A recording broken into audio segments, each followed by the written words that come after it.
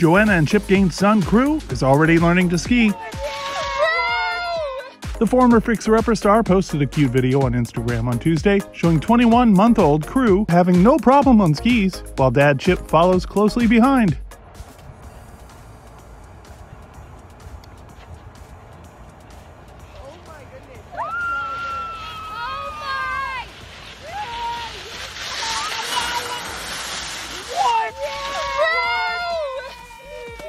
The proud mom wrote alongside her video, This is from last weekend when crew hit the slopes for the first time. I can't stop watching this video and I wonder how it's possible that a one year old is a better skier than me.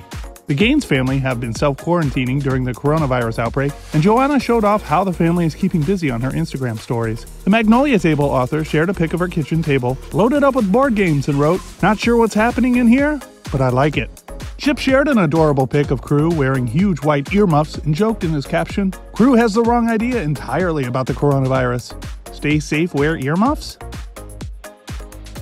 Chip and Joanna announced last week that they were canceling Magnolia's annual Spring at the Silos concert and vendor fair, and the couple went above and beyond to pay back attendees and vendors. The couple launched a virtual vendor fair highlighting the vendors on their Instagram stories, and Chip tweeted that they would reimburse travel expenses, saying, What a day! We made the extremely tough decision to cancel Magnolia's Spring at the Silos. Jo and I are brokenhearted and sorry. In addition to refunding all concert tickets, Jo and I want to reimburse up to 1000 in travel and hotel expenses to our incredible vendors.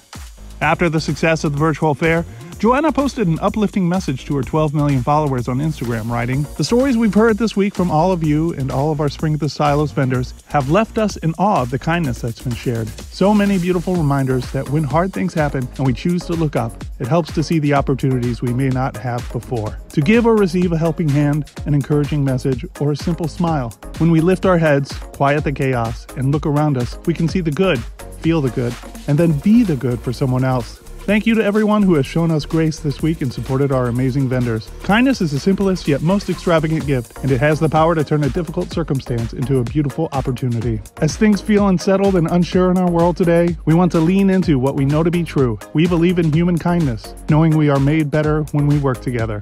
Make kindness loud.